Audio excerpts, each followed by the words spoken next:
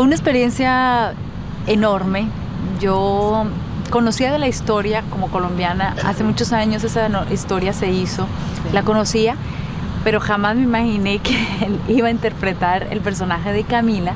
Cuando a mí me ofrecen Camila, yo dije, ah, bueno, una mala más. No, porque venía de hacer malas y dije yo, bueno, por lo menos esta mala es, es un poco diferente, ¿no? Es pícara y, y ahí tiene un grado de importancia enorme.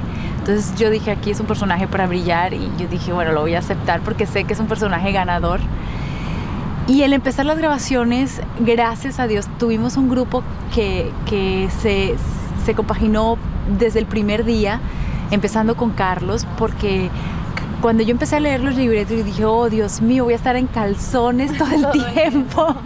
Qué horror, Dios mío. Y menos mal que estaba, había entrenado muy bien y estaba físicamente bien.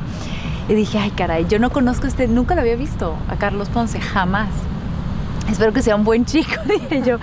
Pero bueno, eh, hicimos como, como un clic importante.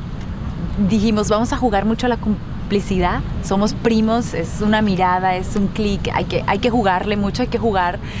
Y el productor nos dijo que, que esta era una novela ligera, de mucho ritmo, un poco chistosa, que no sea tan dramática, entonces la mala que no sea tan mala, mala, dramática. Entonces me gustó mucho, agarré muchos elementos en los cuales quería ser una villana sonriente, pícara, eh, juguetona, entonces como que nos fuimos por ese lado y, hicimos un trabajo interesante, yo creo que entre todos y más con Carlos.